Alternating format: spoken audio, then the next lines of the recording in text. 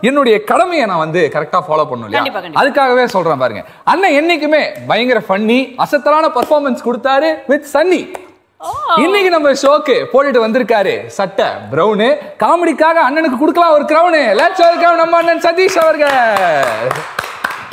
ஆனா அந்த பில்டப் நினைச்சாதான் ரொம்ப நாள் பழைய ஞாபகம்லாம் வந்து போகுது. வந்துட்டு? ஆமா. இருந்தாலும் கடமை கண்ணியம் கட்டுப்பாடு அப்படின்றது எனக்கு இருக்கிறதுனால உங்களை பத்தி சில சொல்லணும்ல. நன்றி. அது வந்து சும்மா ஜாலிக்காக சொல்லப்பட்ட வார்த்தையா இருந்தாலும் கேட்க ஜாலியா இருந்தது. தேங்க்யூ சரி மனசுல இருந்து சொல்ற ஒரு வார்த்தை தானே. என்னைக்குமே உங்க மேல வந்து பயங்கரமான ஒரு அன்பு இருக்கு. அதோடைய வெளிப்பாடு தான் இது. Love you